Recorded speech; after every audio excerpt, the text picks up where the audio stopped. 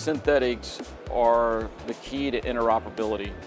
And if you think about NATO as they onboard all the F-35s in and around these uh, various countries, there isn't enough range space and there aren't enough assets to train against. And I think synthetics are going to, it will be how these countries in, in, you know, interoperate with one another jointly, not only uh, in the air, but on the ground and in sea as well. And then the ability to connect that back to the U.S so we can train with our European partners. I think you're going to see a mass adoption of synthetics in the future.